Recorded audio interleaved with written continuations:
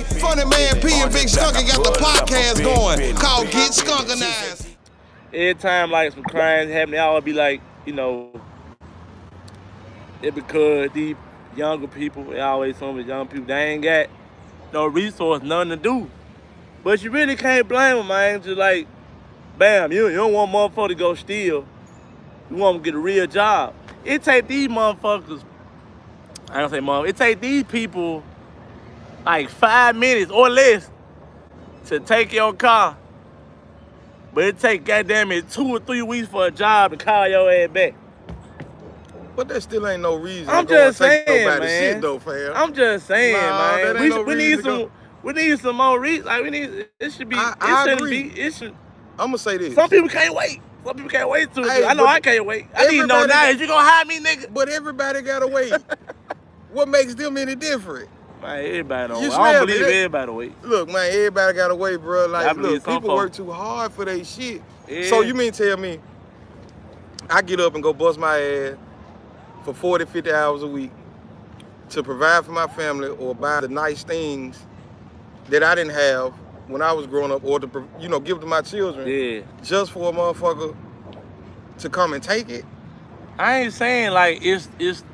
I'm not saying it's your fault or anybody else's fault. This is already established. I'm just saying like, if they want this shit to slow down, like we need like faster ways for these motherfuckers to get jobs. Like These niggas don't want to work. Let's just call it like it is. that's true too. Niggas don't wanna work, folks. bro. I know a lot of folks they just can't wait no two or three weeks or a month to hear back from a job. They need their money now. Yeah. It's just type of that type Shit, of work. we all needing that, but I know. these cats, man, they don't want to work. That too though. That too though. If you gon' if you gonna steal and shit like that, then you should be do it to the same people who you playing that game with. You get what I'm saying? So Yeah. if you running if you running with drug dealers and, and killers and thieves and shit, go steal they shit. They playing the same game that you playing. But you ain't gonna take shit from them because you know what's gonna happen with them. Yeah. Ain't no police getting called with them. They ain't going to jail or no shit like that. They gonna blow your ass off. But you are going to take from an honest, hard-working person. And I'm gonna be honest. I'm, I'm gonna be dead honest, man. I'm gonna say it how it is. Niggas don't want to do nothing different. Niggas don't want to do nothing better. Niggas want fast money. For real. I mean, I want it too. You know what I'm saying? But that's what a lot of niggas want. They just want fast money. They can blow it. That's all they want to do, bro. Just ball hard. I, I get it. You want to live your best life, bro. But you gotta work for that shit. And stealing ain't working for it. Yeah, nah, it ain't. But you play a stupid game, you win a stupid prize because you run across the right motherfucker and you stealing their shit or they catch you.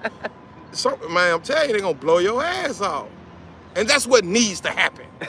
I'm dead serious. I don't give a fuck how y'all like it or not, or if you like it or not. That's what needs to happen. Until until examples start being made, this shit gonna continue.